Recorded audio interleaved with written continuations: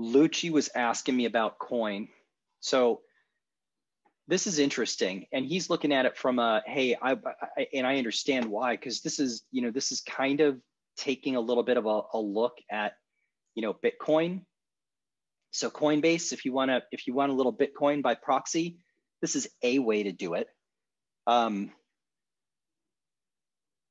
you've got a gap fill actually filled that gap. And then now you've got you've got another gap in here, right?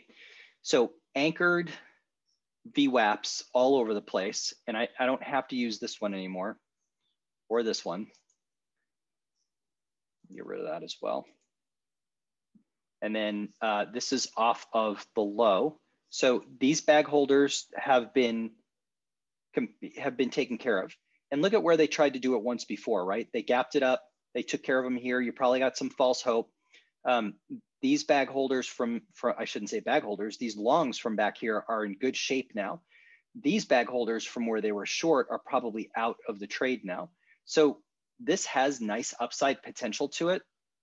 So from a leap candidate, it is a candidate. However, it comes with a caveat. And what is the caveat? The caveat is that it's it's largely tied to Bitcoin it, it it's it's not making any money, right? Well, actually, it's it's it's actually it's fine, but um, it is it is highly speculative. So from that end, if you wanted something long here in coin, let's take a look and see how that sets up.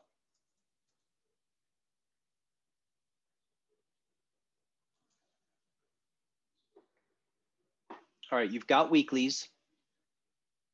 You want to be a year out. Let's take a look at a year and let's look at some deltas. So let's look at an 80 delta. Okay, going to cost you 86 bucks, right?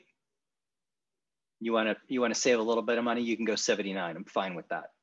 Now, here's the question. What can I scrape on the weeklies? It's not a bad looking setup. I don't mind it. I especially don't mind it as a as a play on crypto